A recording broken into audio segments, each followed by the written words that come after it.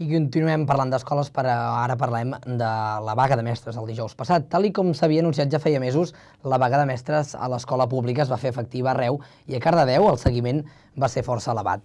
Pel que fa a les 5 escoles de primària, el seguiment va superar el 80%. Totes les escoles van aturar les classes i només van obrir amb els serveis mínims marcats pel departament, un mestre cada 4 aules. Tanmateix, la majoria d'alumnes també es van quedar a casa i als centres s'hi van aplegar molt pocs alumnes.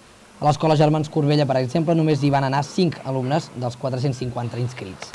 Als instituts de secundari i batxillerat el seguiment va ser regular per part dels mestres. Elias Manel Raspall van segundar la vaga un 40% del professorat, el SUI un 60% i el CESPLA Marcell només hi va haver, saber, només hi va haver serveis mínims. En tots els instituts es van suspendre les classes de batxillerat i a secundària, davant la manca d'alumnes, també es van suspendre moltes classes. La vaga va ser una convocatòria unitària de tots els sindicats de mestres i volia mostrar el seu rebuig a la majoria de casos a la llei d'educació de Catalunya, que s'està tramitant al Parlament. Entre altres coses, el professorat demanava la dimissió del conseller Maragall. A Cardedeu, però, el CEIP Manent, tot i secundar la vaga, eh, es va, va voler comunicar que, amb un comunicat als pares que la seva intenció era de queixar-se davant de la vaga, del poc diàleg, volem dir, del conseller amb el departament.